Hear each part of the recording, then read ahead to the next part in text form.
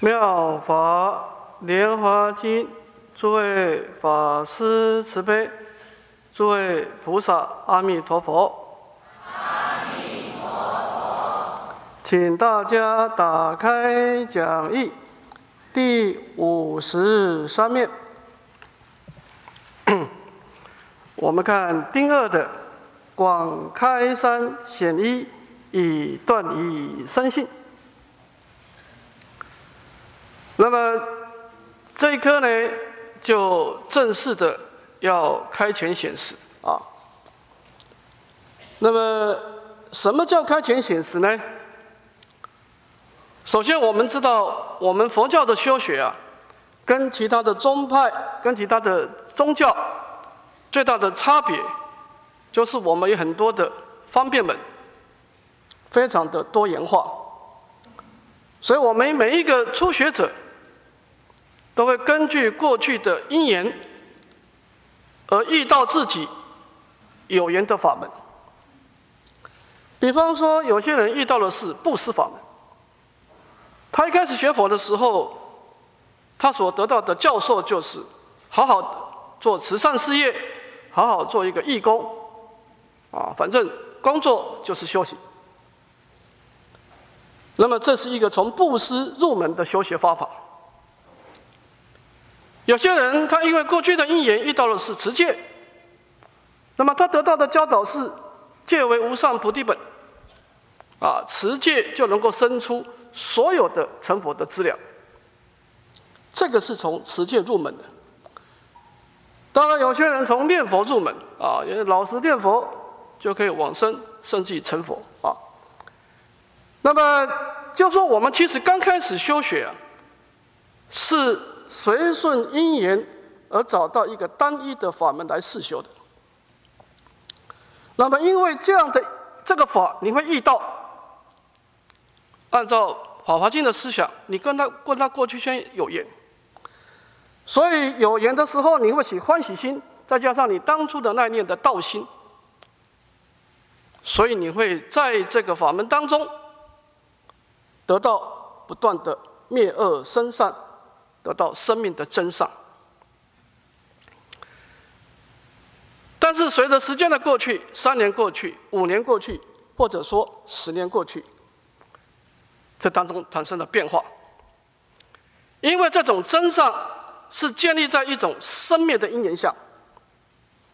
我们都知道，生灭的东西，它的力量是有限的，而且这当中也会充满着挫折啊。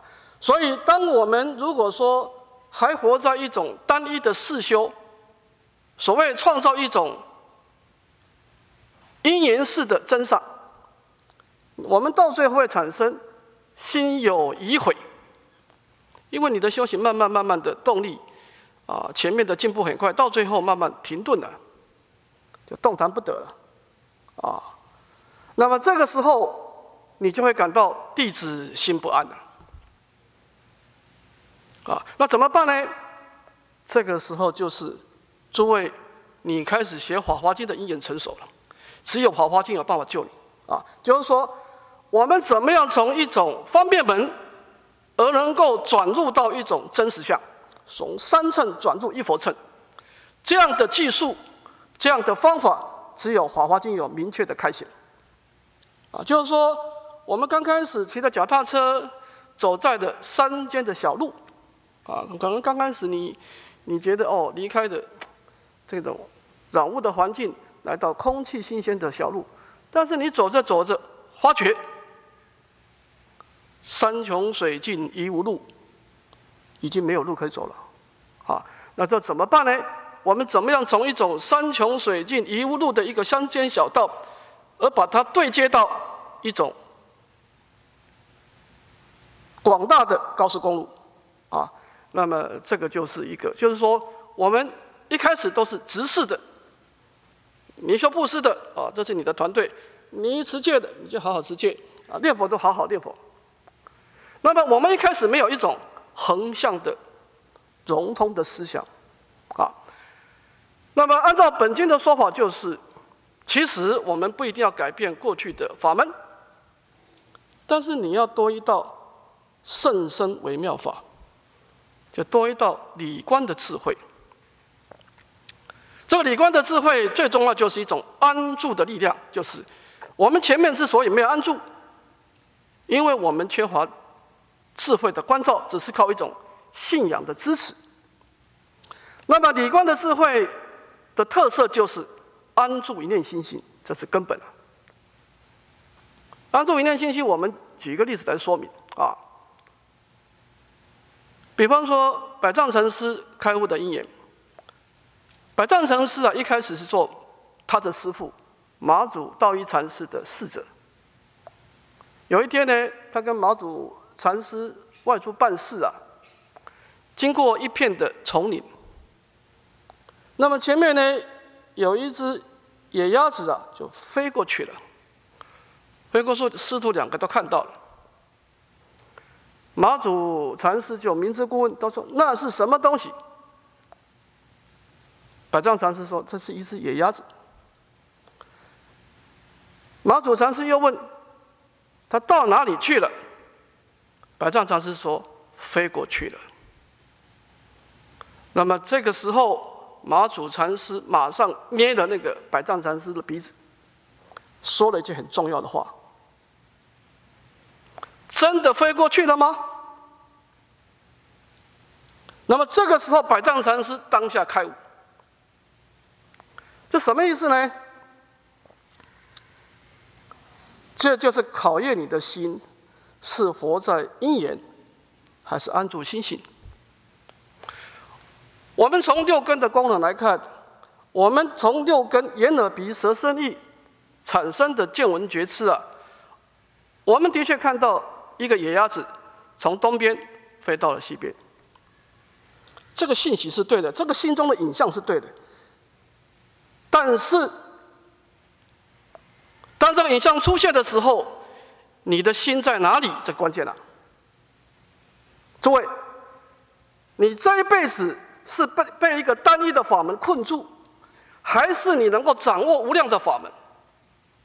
就是说，心迷法华转，心悟转法华，就是修行只有两种情况：第一个，你被法门所转，那你就很被动了。第二个，你能够从一念心性转动无量法门，那恭喜你，你是主动的啊。所以，同样的法门有主动跟被动。那么，关键在哪里呢？关键是，当这个野鸭子飞过去的时候，我问你，你的心在哪里？如果你的心是住在野鸭子，那你的心真的是飞过去了，因为。你的心住在一种生灭的因缘下，所以当相状消失的时候，你就落入了生灭心了。马祖道一所要说的就是说，相降过去的，你的心，你就安住在那种不生灭心，你要安住在那种不生不灭、不来不去的那个明了的心性，这个就是一个成败的关键。就是野鸭子飞过去了，你的心在哪里？布施的法门，当我们在造作的时候，当我们在做义工的时候，你的心在哪里？当我们在持戒的时候，你的心在哪里？当我们在念佛的时候，你的心在哪里？啊，那么这个就是说，本经佛陀即将开显真相了。就是说，为什么有些人他同样修一个法门，他进步如此之慢？啊，有些人他能够快速的成佛，那么这个地方佛陀开始要开前显示，把真实的思想开出来啊，那么也就是说，广开三显义啊，就是说前面的是一个列说列开三显，前面的重点是佛陀啊赞叹佛智。佛陀一开始把佛陀的无量的功德智慧显出来，那么这个时候去刺激三乘的修学者，让他们动植生疑，让他们来请问。那么这个地方佛陀要解决问题了，开始要让他们断疑生信了啊。那么这一下呢，等于是进入了整个基门的正中分了，有三周说法啊，就法说一周度上根上根人，譬说一周度中根人，一言说一周度下根人啊，就三周说法。那么我们先看第一个法说周。这个法说周呢，就是佛陀对开前显示的观念呢，是直说法要啊，直接用种种的言辞来表达这个妙法啊，直接的直说法要。那么这个地方有五段，我们先看第一段的正说法要。正说法要呢，又分成两段，先看长行，长行当中呢，分成三段，先许说。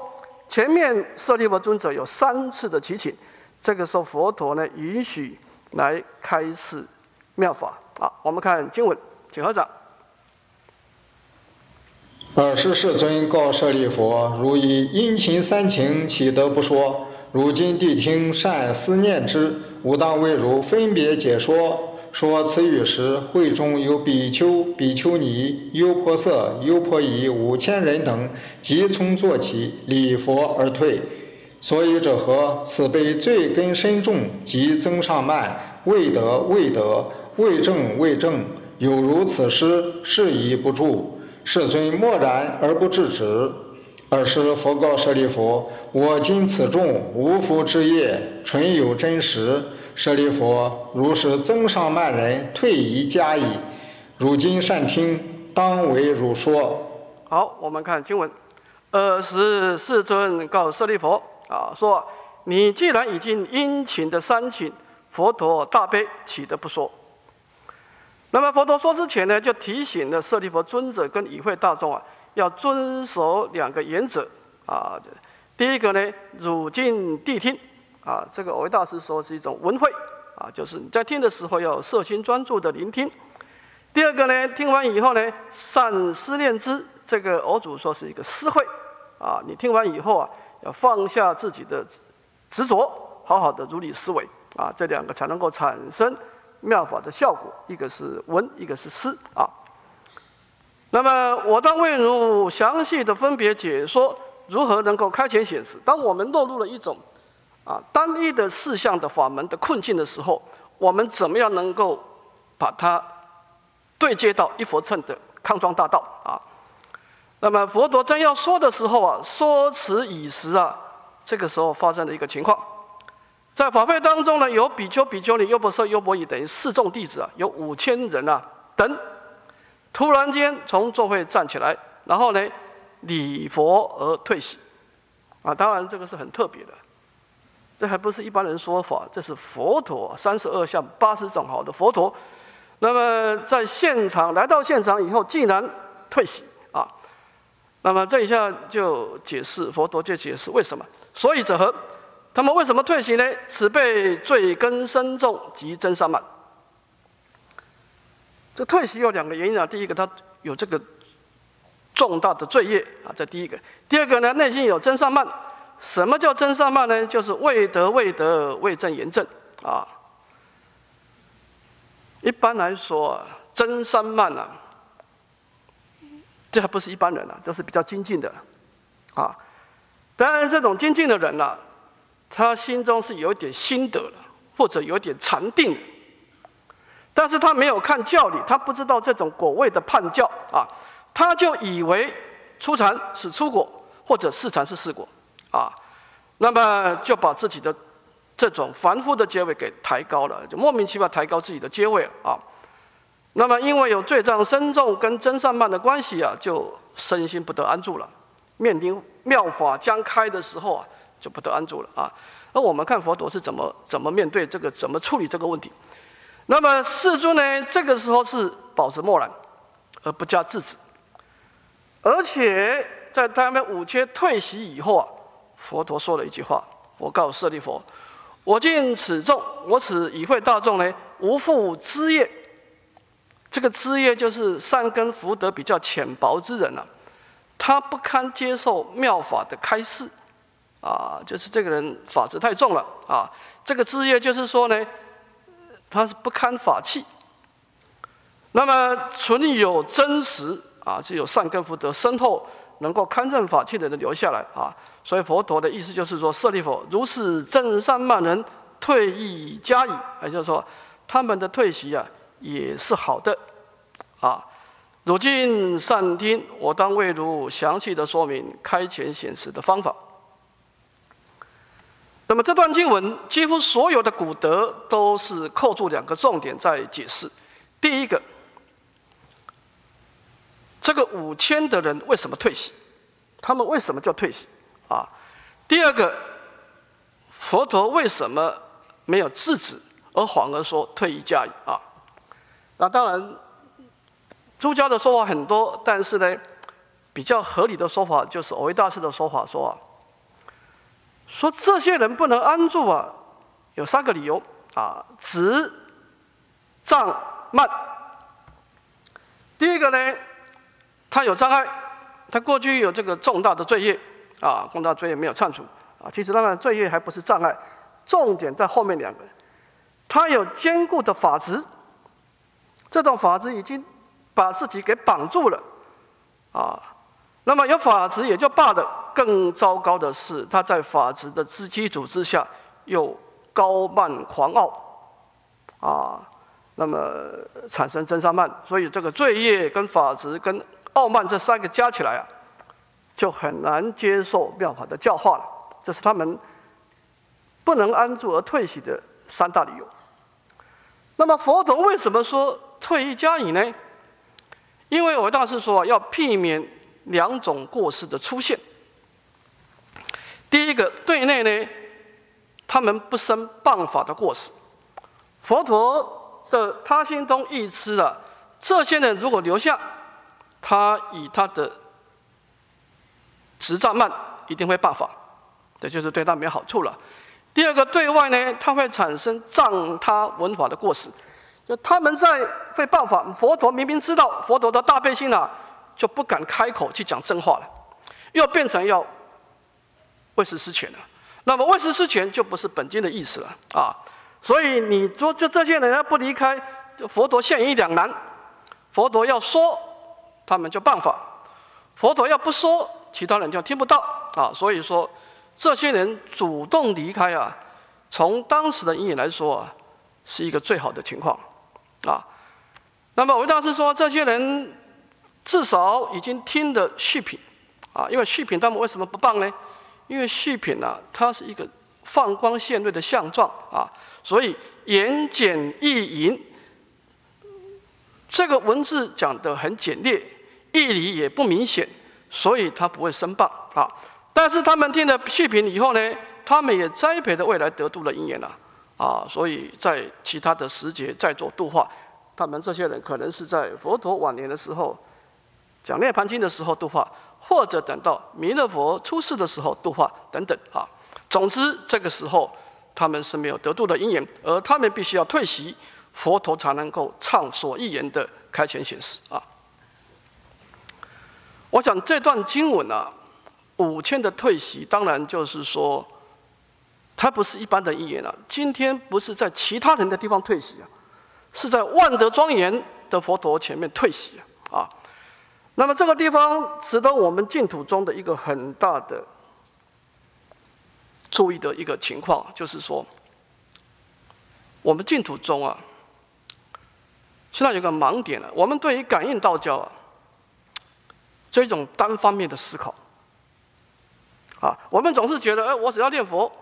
我就能够把感应道教啊，其实感应道教是一种双向的随顺啊，就佛陀恒顺众生，大悲心。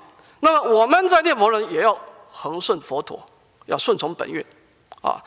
所以就是说呢，当一个人起了严重的障碍的时候，佛陀是没办法救拔的。比方这五千比丘比丘尼啊，当然有人说，哎。那可能是佛陀一时的方便了。诸位，你可千万别忘了，你现在学的是《法华经》啊。什么叫学《法华经》？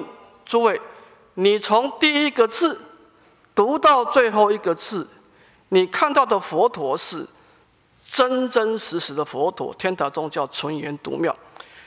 我们以前在方等时、阿含时、波罗时看到的佛陀，可能是佛陀的方便。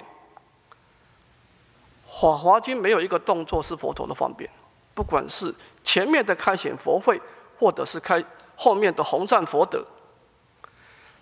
本经的每一句话、每一个动作，你看到的佛陀就是一个真实的佛陀。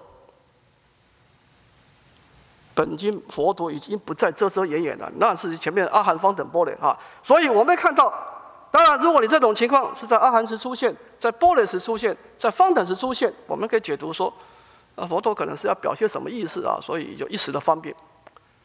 诸位，这件事情是在法华会上出现，这是一个真实的佛陀面到一个真实的情况，佛陀束手无策，这是真实的佛陀啊。那么也就是说，感应是一种双向的准备啊。好，我们再看下一段的受子啊。这个佛陀讲的这一段，说我可以为你们解说以后啊，舍利佛表示欢喜的受接受佛陀的旨意。看经文，舍利弗言：“巍然世尊，愿要欲闻。”那么佛陀。讲到如今善听，当为汝说以后啊，那么舍利弗就做出了回应啊，就是说：好的，世尊，我们心中充满了欢喜跟期待啊，愿意听闻如此的妙法。要怎么样能够让我们陷入一种世修人陷入一种困境的时候，怎么样能够突破啊？我们是欢喜听到的啊。那么佛陀就正说了，正是宣说开前显示的观念。这个地方有两段，第一段呢，名四佛章。这个四佛啊，指的是过去佛、现在佛、未来佛跟释迦牟尼佛啊，这四尊佛是怎么开前显示的啊？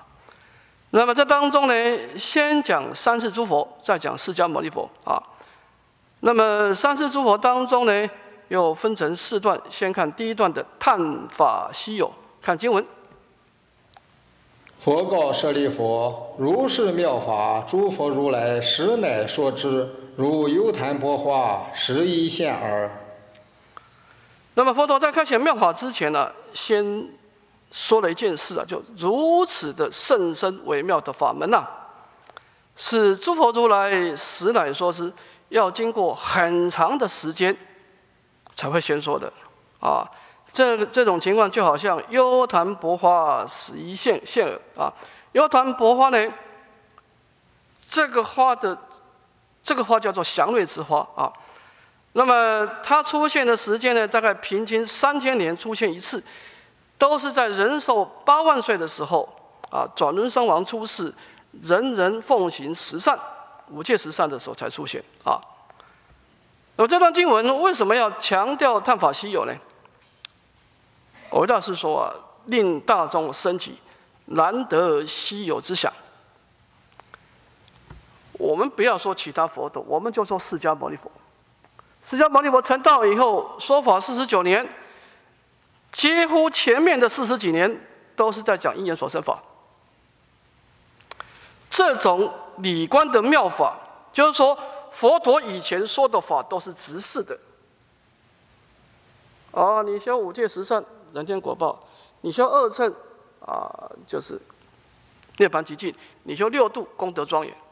佛陀很少讲横向的修学，就是把这些法如何融通到一念心性。佛陀的说法很少讲横向，都是单一的、直视的啊。所以这个横向的理观的融通法门呐，是实乃说之啊。啊，是到最后的时候，佛陀做收尾用的啊，所以这个地方就让我们升起南诏一想啊，升起恭敬心啊。我们看第二段，说无希望，看经文。舍利弗，汝等当信佛之所说，言不虚妄。那么讲到法是虚有以后，佛陀又强调啊，你要信奉佛陀所说的法，因为呢，它是。佛陀凡有所说都是真实不虚的。其实这段是很特别的。我们看佛陀在讲经的时候，当然也有欠信，但是大方向都是在后面。你看《阿弥陀经》，《阿弥陀经》够不可思议了吧？我们凡夫能够跟弥陀感应道交，那么往生净土，严正三不退。但是他的欠信也是放在后面六方诸佛，只有本经在讲之前欠信，讲后又欠信，所以本经是两种欠信。我们看到佛陀还是少说，还没有说法之前欠信的几乎没有，啊，那么可见的《法华经》真的是不可思议啊！就是说，这种从根本上要我们从因缘的修正转成理观的修正，这的确是很难接受的啊！所以佛陀必须两番的欠信，在讲之前欠信一次啊，就是说你在听佛法之前，请你先对。佛陀这个人有信心，就是说，我们一般都是听完了以后，哎，觉得佛陀讲有道理，啊，就依法以后再依的啊，我相信你说的是对的啊。佛陀说赞叹的，我说的话是对的，你理解是对的，所以我们就好好相信啊。很少说没有说法之前就要你相信，相信谁呢？你相信佛陀。你才有资格下面再听得下去的啊！就是佛陀所说的话是真实的啊，所以我们先学先对佛修皈依啊，才能够听以下的法的啊。好，我们看，那么佛陀就正式的来说明这个全实的关系啊。我们在操作世修跟理观之间呢，要怎么样的去做一个调配？我们先看广开方便看经文。舍利弗，诸佛随意说法，意趣难解。所以者何？我以无数方便、种种因缘，譬喻言辞，演说诸法。是法非思量分别之所能解，唯有诸佛乃能知之。那么，这个经文呢，讲到佛陀过去啊是如何广开方便的啊？他讲到两件事。第一个呢，说三世诸佛是是怎么说法呢？是随意说法，是站在恒顺众生的角度而开出了三乘或者五乘法门，啊。第二个呢，意气难解，就是佛陀开的三乘也好，五乘也好，其实他真实的目的不是某一般人可以理解的，啊。为什么这样讲呢？因为佛陀过去虽然以无数的善巧方便，透过种种的因缘譬喻跟言辞。来演说三乘的法门，但这些法门呢，它真实的意涵不是我们一般的凡夫善乘人所能理解的。那只有谁可以理解呢？唯有诸佛乃能支持。这段经文当然两个重点了：第一个，佛陀是怎么随意说法啊？第二个，为什么意气难解啊？这个佛陀随意说法，其实佛陀像前面曾曾经说过啊。佛陀出世以后啊，他要先去规划种种的法门，就是众生应该怎么样让他进步啊，才能从从一个真上的角度啊。那么他规划的时候呢，有三个角度。第一个，若人遭苦、厌老、病死，所以这个人呐，他过去生的因缘呢。深受身心的痛苦，而痛苦的折磨给他很大的打击，所以佛陀施设的四谛法门，把苦地放在前面。啊，那么第二个，若人有福自求圣法，因为这个人过去生有点福报，也就是说他可能生命没有那么多痛苦，你把你把苦地放前面，对他没感觉啊。那么，但是他自自求圣法，他的智慧比较高，他能够直接观察妄想无性。哦，那么佛陀为他讲十二因缘，直接消除爱起烦恼啊。第三个呢，若人修种种行，自求无上慧，他能够好要佛陀的功德，他对苦地没什么感受，他对烦恼也没什么体会。但是他看经典的时候，看诸佛的神通变化，佛种种的功六波罗蜜功德，他心生好要。佛陀为这些人讲六度法门，啊，那么就是说呢，佛陀必须要让一个初学者产生意乐，啊，先以义勾牵呢，再令度佛子啊，产生啊产生欢喜心啊，产生修行的动力啊。那么产生修行动力以后，他才能够慢慢的增上。但是增上以后，后面要怎么走，就没人知道了啊，就意气难解了。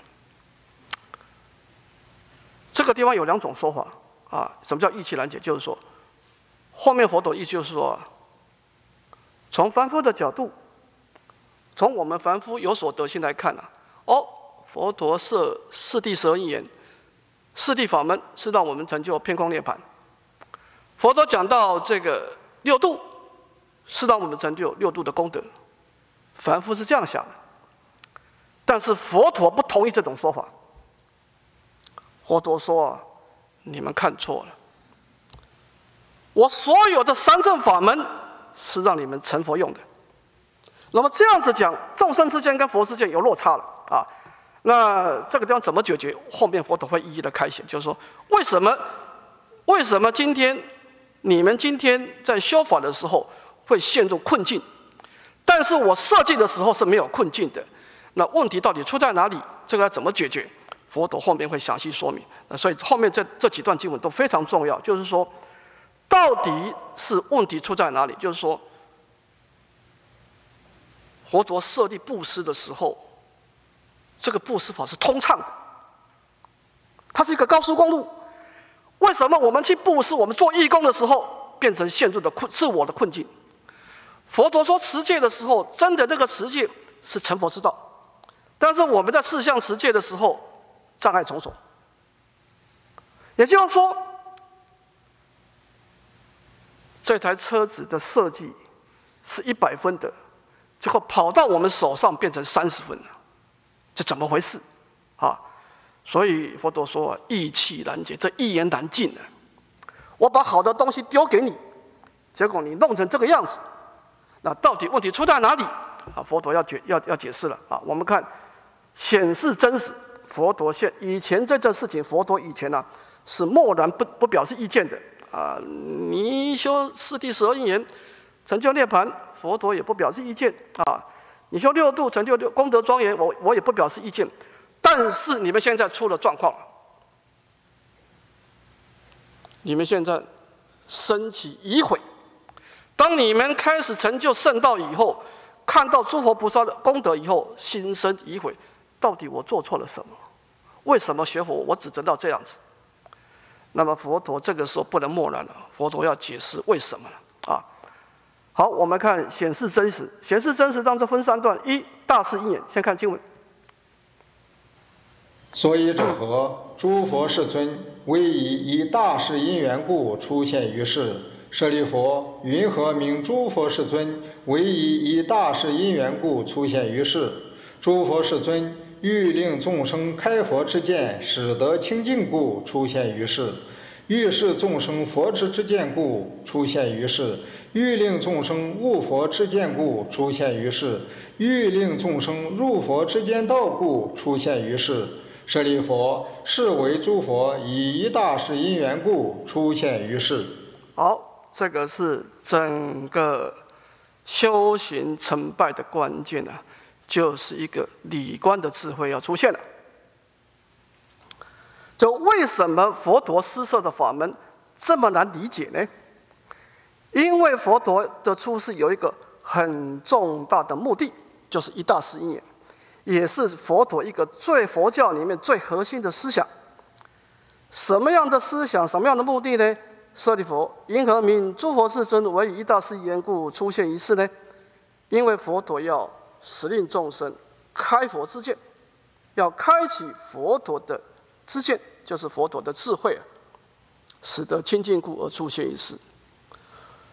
进一步开了智慧以后，佛陀要让众生的心中啊，要显示智慧，要把智慧给显现出来，啊，那么显现出来以后呢，要我们慢慢的悟入佛陀的智慧，最后要我们如实的证得佛陀的智慧，啊，这个就是佛陀以一大事因缘，以一大的目的而出现一次。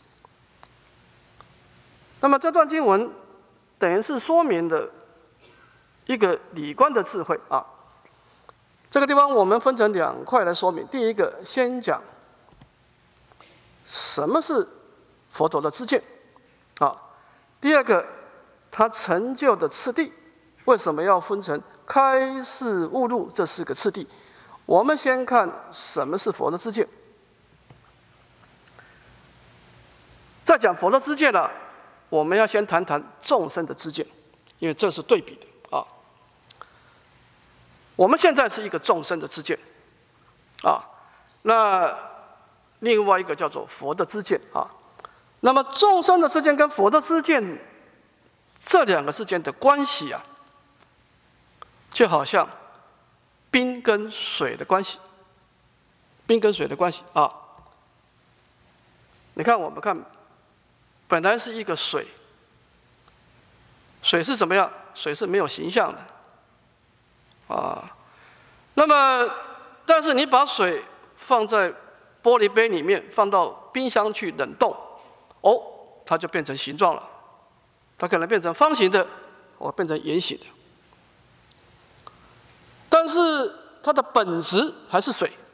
我们就要透过一个正常的方法，我们就可以把这个有形状的冰块，再把它融为为无形状的水。那么这说明什么呢？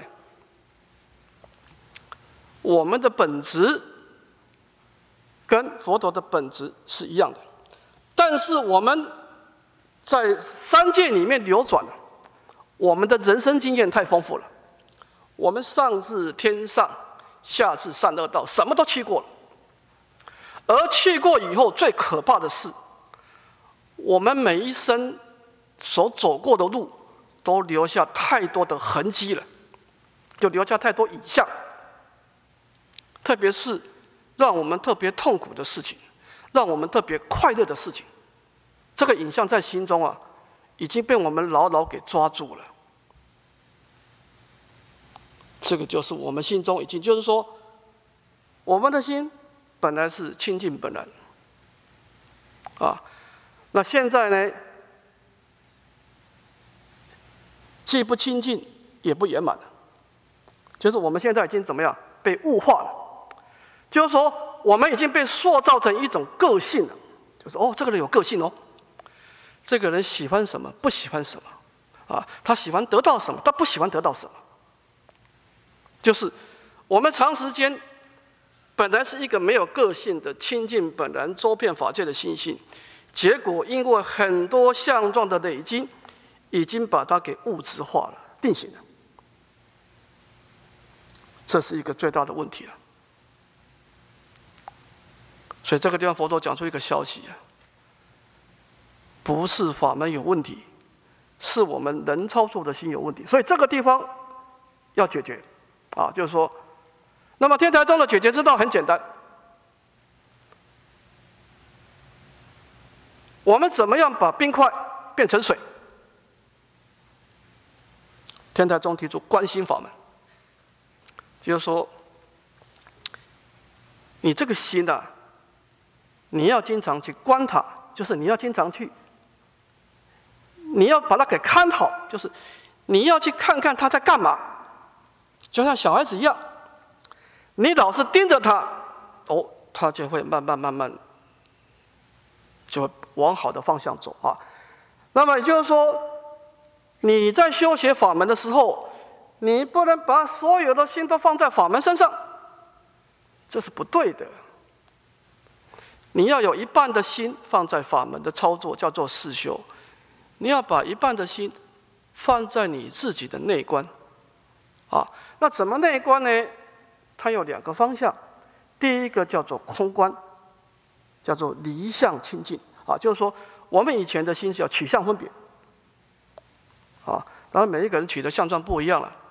啊，你看声闻人，他为什么变成声闻种性了？他自找的。我们今天如果把生命拉到原始点了，我们什么种性都不是。但是生闻人他的特点呢，他特别喜欢收集人生的痛苦，他自己的痛苦也收集，他看到别人在痛苦，他也把这个相状收集起来。所以他的结论，人生没有价值，觉得那你怎么会变成这个样子呢？取向分别，你自己找的啊，你自己去取很多痛苦的相状，然后你就把你的心不断不断塑造成一个痛苦的相状啊。他说菩萨种性是怎么来的呢？也是取向分别啊。我们老是看到哦，菩萨他不把痛苦当一回事，他看到功德啊，他是牺牲生命都在所不惜啊。他看到自己有功德相，他感到很荣耀。他看到其他的菩萨有哦，这个菩萨整天在那边做义工，他也赞叹。他把别人的功德相也起过来，所以在他的生命当中，痛苦快乐根本就不算个事儿。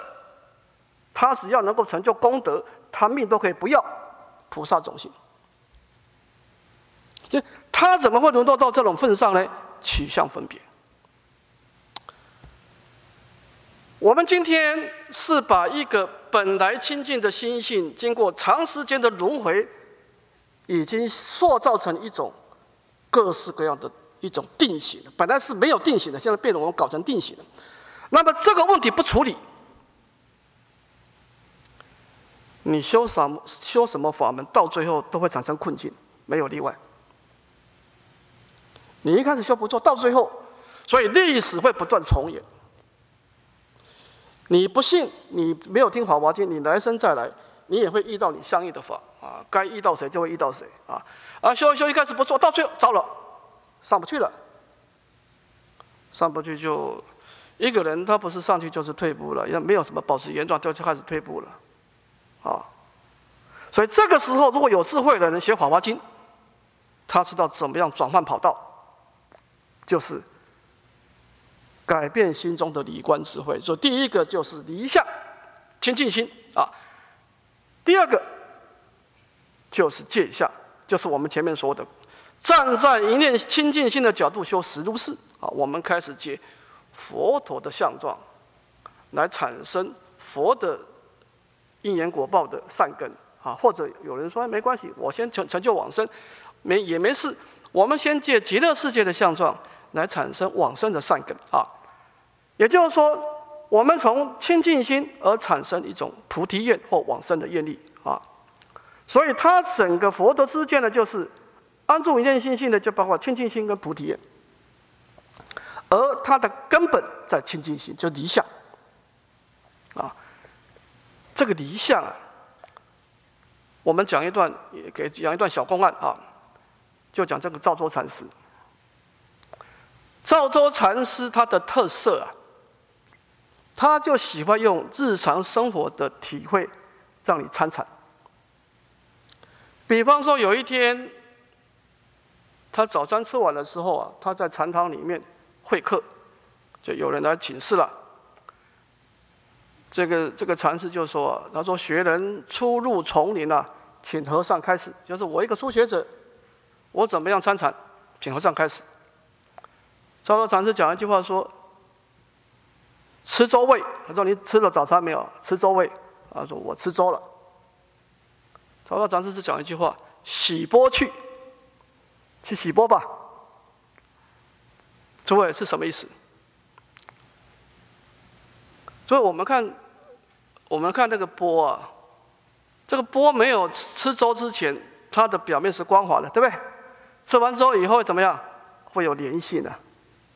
所以洗粥呢，就是脱粘弃腐啊，恢复这个波的本来面目啊。也就是说，我们现在，如果我们的心是一块波的话呢，我们的心现在是有粘性的。我们现在看到什么就众生处处着啊，看到什么就。就像前列叫贴上去，啊！我跟你讲，你心中那么执着，我就给你全世界最好的妙法，你都操作不起来，你都会操作成一种障碍。问题在这，啊！所以他这个离相的意思就是说啊，把心中那个强力胶洗干净，心没有错，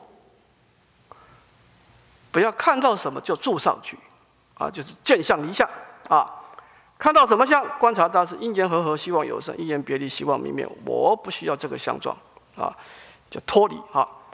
那么也就是说呢，首先我们今天要突破我们现在的困境，第一个建立佛的知见建立理观的智慧，这是第一件事情啊。那么这个理观的智慧建立以后，后面就可以把它回归到实修啊。这个理观如何回归到实修，我们下一堂课再说明啊。好，休息十分钟。